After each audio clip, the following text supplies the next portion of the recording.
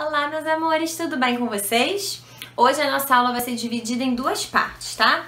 Primeiro a tia Camila vai explicar a atividade do nosso livrinho de artes, páginas 75 a 80, tá? Que a gente vai falar um pouquinho sobre como a gente pode construir instrumentos musicais através de sucata, materiais que iriam para o lixo e que a gente consegue reaproveitar construindo instrumentos, tá bom?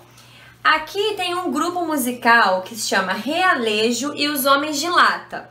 Esse grupo, eles, eles fazem né, a música deles através de instrumentos é, feitos com sucata, tá? E aí vocês vão observar esse grupo aqui na mãozinha deles, né, e tentar identificar quais objetos eles estão segurando aqui e quais foram as sucatas que eles, que eles, que eles utilizaram para construir esses instrumentos que eles estão utilizando, tá?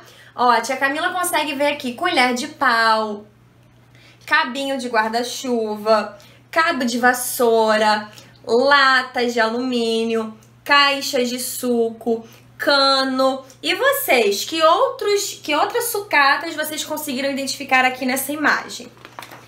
Em seguida, vem dizendo que existem muitas formas da gente construir um instrumento musical. Alguns são construídos em fábricas e outros são feitos em oficinas de artesanato. São construídos manualmente, tá? Aqui mostra a figura de uma artesã construindo um violino. Os instrumentos fabricados tanto pela indústria quanto por artesãos são feitos de vários materiais e têm diferentes formatos. Por isso possuem as mais diversas sonoridades, tá? Eles produzem sons diferentes. Aqui, ó, a gente tem algumas ideias de quais instrumentos nós podemos construir através de sucatas, tá bom? O primeiro é uma flauta, ó. Observem que aqui foi utilizado um pedaço de cano e uma bexiga, um balão de festa. Em seguida, tem maracas, que ele colocou aqui também um pedacinho de cano para segurar e são garrafinhas PET. Elasticofone, tambor e o reco-reco. Vocês podem construir esses instrumentos na casa de vocês, tá? Vocês podem escolher um ou quem tiver mais materiais pode fazer da sua própria criatividade, tá bom?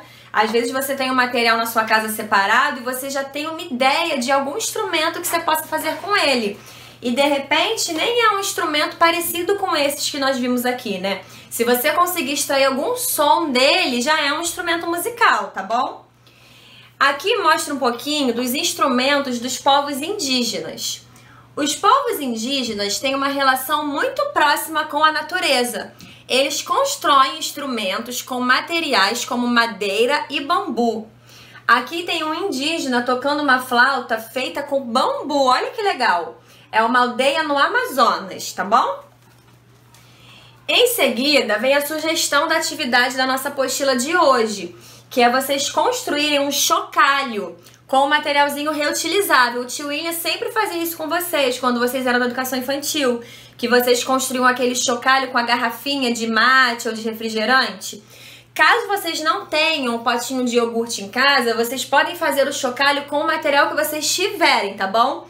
A tia Camila vai pedir só para que vocês guardem esse chocalho, para assim que possível que a gente possa retornar às nossas aulas presenciais, que vocês levem ele para a escola para que a gente possa trabalhar com ele em sala de aula, tá bom? O chocalho que vocês construírem na casa de vocês, deixa guardadinho pra gente levar pra escola, tá? Aí aqui vocês vão colocar arroz, mas vocês também podem colocar milho de pipoca, qualquer grão que vocês tenham em casa, que é legal que vai produzir sons diferentes, tá? E aí um potinho ou uma garrafinha PET, o material que vocês tiverem em casa, construam esse chocalho e se vocês puderem mandar foto pra gente de vocês construindo esse chocalho, eu vou amar, tá? Ou um vídeo de vocês montando, vai ser bem legal. E aqui, ó, é a atividade que a gente vai conseguir fazer só quando a gente voltar pra escola, porque precisa da turma. Um grupo vai tocar um, um instrumento de uma forma e outro grupo vai, vai tocar de uma outra forma, tá? Então, ó, se vocês puderem, por favor, filmem vocês construindo esse chocalho. E se vocês quiserem tocar com alguma musiquinha, vocês cantando, eu vou amar mesmo ver isso, tá? Vai ser muito legal. E agora a tia Camila vai continuar a nossa aulinha explicando para vocês as atividades propostas de hoje do módulo 3, tá? Nós vamos usar primeiro das páginas 44 até 46 e depois páginas 50 e 51. Essas páginas, elas falam de um tipo de texto diferente, que é o trava-língua, que são textos que têm umas palavrinhas que acabam confundindo a nossa pronúncia. Por isso se chama trava-língua, que a gente acaba trocando as palavras. Aqui tem dois textos na página 44. O texto 1 é assim, ó. O Pedro pouca capa tem, porque pouca capa compra. Se a gente tentar ler esse texto mais rápido, a gente acaba embolando tudo, por isso se chama trava-língua. O Pedro pouca capa tem, porque pouca capa compra. Tentem aí em casa ler bem rapidinho. E o texto 2 está assim: O chapéu chocante solta sapos saltitantes. Tentem ler, primeiro ler devagarinho e depois tenta ler mais rápido para a língua de vocês travar. E aí vocês vão fazer as atividades propostas de acordo com esses dois textos de trava-língua que nós lemos. Quando vocês terminarem, vocês vão colocar nas páginas 50 e 51. Vamos lá. As páginas 50 e 51, elas também falam de trava-língua, porém tem outros quatro trava-línguas aqui, tá?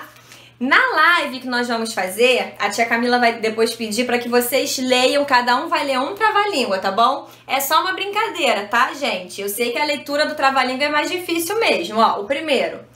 O teco do teco-teco é o tico do tico-tico. O outro. Sabiá sabido sempre sabe assobiar. O terceiro. Alô, o tatu tá aí? Não, o tatu não tá. Mas a mulher do tatutando é o mesmo que o tatu tá. E o último, como pouco, coco como. Pouco, coco compra. Esse é difícil. E aí vocês vão ler os trava-línguas, tá bom? E aí depois vocês vão marcar aqui. Se você conseguiu falar o trava-língua sem se atrapalhar com as palavras. A tia Camila foi mais ou menos. Eu me atrapalhei um pouquinho. E vocês? Como vocês foram? Depois a gente vai fazer a leitura, tá bom? Ó, façam as atividades, tá? Me mandem os vídeos de vocês construindo esse chocalho de sucata, tá bom? Arrasem, tá? Beijo! Tchau!